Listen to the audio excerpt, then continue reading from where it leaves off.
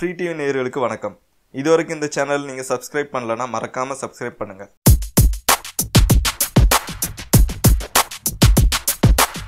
இந்த வீடியோவில் நம்ம பார்க்க போகிறது விஜய் டிவியில் ஒளிபரப்பாயிட்டு இருக்கிற அவளும் நானும் சீரியல் ராஜேந்திரனை பற்றி தாங்க.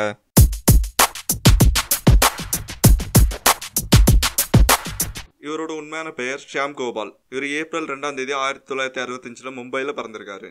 ஷியாம் தன்னோட கல்லூரி படிப்பை பெங்களூரில் இருக்கிற பிஎம்எஸ் காலேஜில் படிச்சிருக்காரு. ஷியாம் முதன் முதல்ல ராமகிருஷ்ணா சினி ஸ்டுடியோஸ் தயாரிப்பில் என் டி ராமாராவ் இயக்கத்தில் ஆயிரத்தி தொள்ளாயிரத்தி எழுபத்தி ஏழாவது வருஷம் வெளியான தான வீர சூர கர்ணாங் தெலுங்கு படம் மூலமாக தான் இன்ட்ரடியூஸ் ஆயிருக்காரு.